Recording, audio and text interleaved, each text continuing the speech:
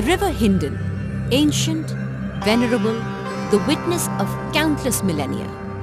Sadly, thanks to mankind's indiscriminate ravages, today the Hindon is an unclean, polluted drain and the carrier of death and disease.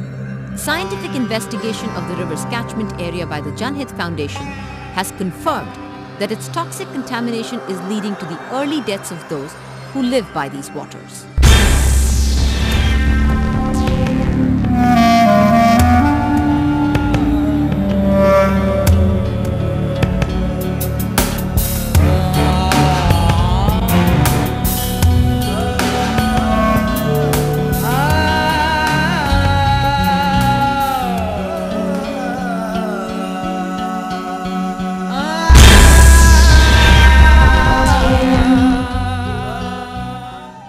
Is Hindon, the black Hindon, the dead Hindon.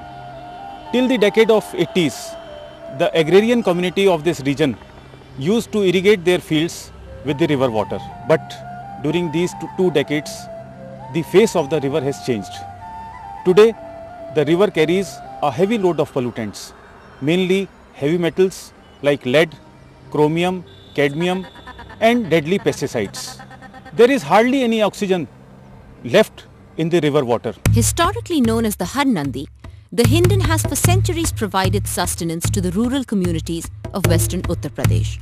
So nourishing has it traditionally been that its waters have been revered for their curative benefits. How tragic then that today the healing medicinal water has turned into black, foul-smelling poison. इसमें बहुत सुंदर पानी आवा था और बहुत साफ आवा था पिया जा था और इसमें सभी त्यौहार अपने ब्याह शादी के चावल दाल सब इसी से बने थे और इस मील की वजह से 20 साल से उरे उरे यू काम सब बर्बाद कर दिया है The course of the river takes it through the six districts of Saharanpur, Muzaffarnagar, Meerut, Bagpat, Ghaziabad and Gautam Budh Nagar. A journey over 250 kilometers long. It is joined along the way by its two main tributaries, the Krishni, which meets it at the Barnava village, and the western Kali, which becomes united with it at the village of Pithlokar. In this long passage to its destination, the mighty river Yamuna in the Tilwara village of the Gautam Budh Nagar district, the Hindon drains a vast catchment area covering about 7,000 square kilometers of land. This includes not just farmland, but also a number of towns and villages. As a result, millions of people who live along the course of the river are undergoing slow poisoning and are dying untimely deaths.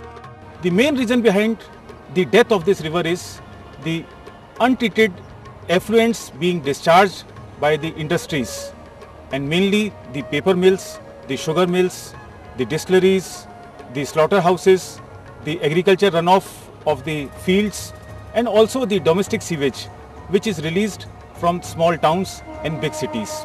Along with the Krishni and the Kali, which are its two main tributaries, the Hindon has 60 industrial manufacturing units which release their poisonous chemicals into the river. There are as many as 32 paper manufacturing units and 15 plants for manufacturing sugar and distilling alcohol. The Hindon River really is polluted to an extraordinary level. The results that we have found as part of our Hindon River study has shown gross exceedances of both heavy metals and pesticides, exceeding Bureau of Indian Standards and World Health Organization standards for safe drinking water. Adding to the deadly effects of industrial waste is the release of untreated domestic sewage into the river.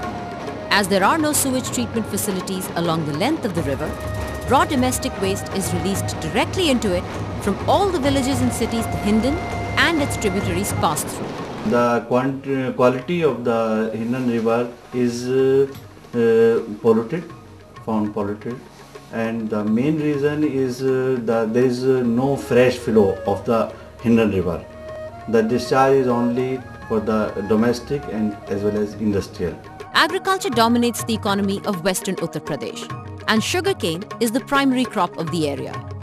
This crop requires huge amounts of irrigation, a need that is met by obtaining large quantities of water from the Hindon and from the underground water table. The unfortunate result of this is that with less water in the river catchment, the dangerous industrial and domestic wastes cannot get sufficiently diluted. This leads to a severe concentration of these wastes in the catchment water. ये पूरे गांव के चारों तरफ से होकर निकल रही पानी और बहुत जहरीली पानी है और पूरे गांव में इसका जहर फैल गया कोई आदमी सौ के सौ परसेंट बीमार है इसके During the study carried out by the Janhit, samples of water from 22 locations along the full length of the Hindon River were carefully analyzed and tested. Physical, chemical, and biochemical parameters were observed for the analysis. These parameters included the amounts of dissolved oxygen and biochemical oxygen demand, or BOD for short. The rigorous testing procedure brought to light some shocking results.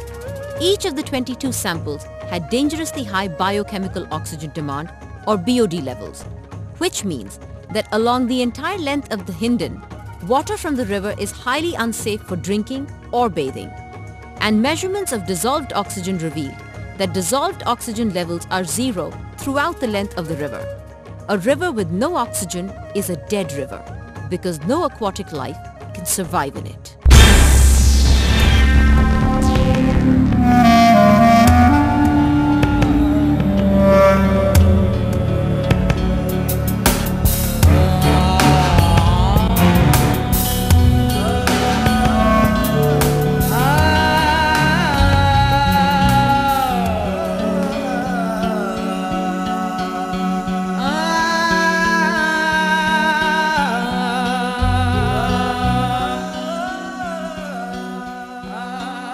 In India, the central authority responsible for the control of pollution is the Central Pollution Control Board or CPCB.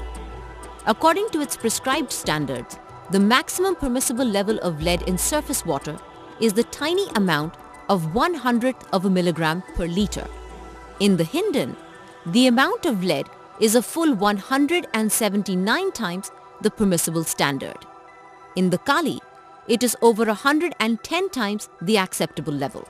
Similarly, the acceptable amount of cadmium is 0.005 milligrams per liter.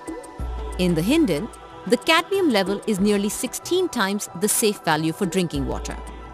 And likewise, the maximum permissible level of chromium within surface water is 0.10 milligrams per liter. In the Krishni, the level is 46 times this figure. In the Kali, 58 times. And in the Hindon, a shocking 123 times. Anyone using this water for domestic purposes is sure to suffer from heavy metal poisoning.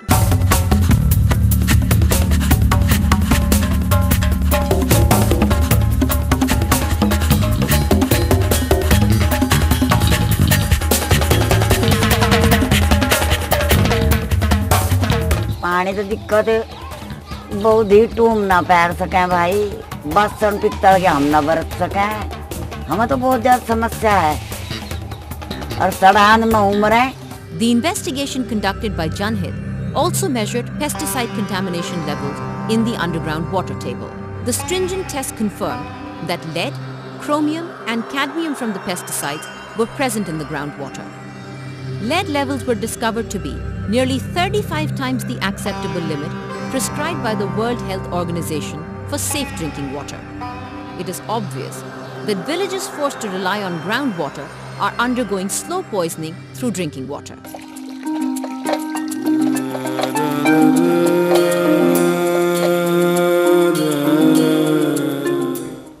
पानी तो खराब है ही है इस पानी को हम P नहीं सकते कई खाने पीने में तो लेते हैं हम ये सब नहा में इसमें हमारे इनमें दर्द रहने लगा आँखों पर असर हो गया A large number of people were found to be suffering from cancer, neurological disorders, digestive problems, skin ailments, and respiratory disorders. These are the very diseases that occur as a result of poisoning by heavy metals like lead, cadmium, and chromium. The connections, therefore, are obvious. यहाँ पानी की बड़ी भारी समस्या है पानी इतना गंदा है कि यहाँ एलर्जी के मरीज़ खाज खारिश के मरीज़ दम्मे के मरीज़ गठिया के मरीज़ रीढ़ की हड्डियों के मरीज़ पेट की अंतरियों के मरीज़ बहुत पाए जाते हैं 107 people have died in the last 5 years alone from diseases known to be caused by toxic poisoning.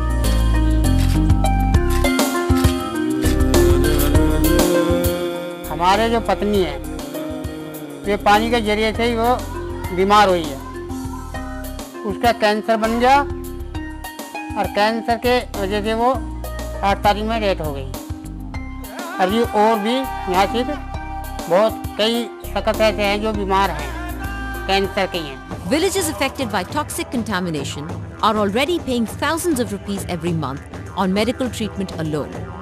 The worst affected villages are spending well over 1 lakh rupees every month.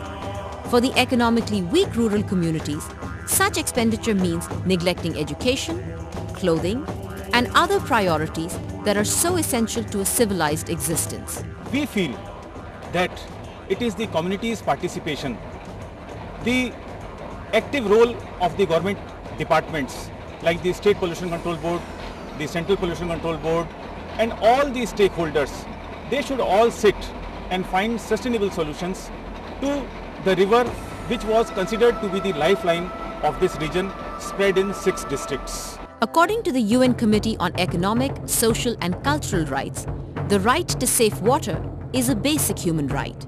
And Resurgent India, confident of her place in the world, ranks 120th out of 122 countries in terms of water quality. Over 20 crore Indian citizens do not have access to safe, clean water. And an estimated 90% of India's water resources are contaminated with untreated industrial and domestic waste, pesticides and fertilizers.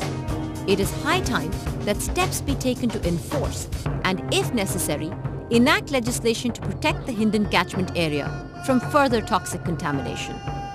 A river has already died, and so have many human beings. If governmental authorities delay taking responsibility now, they will have condemned many more of the nation's poor to tragic and painful death. We are planning to knock the doors of the Honorable Supreme Court of India in case we don't get justice from the government agencies. And we would pray before the court to find sustainable solutions, regular monitoring of the river and long-term solutions so that the river gets back to its original life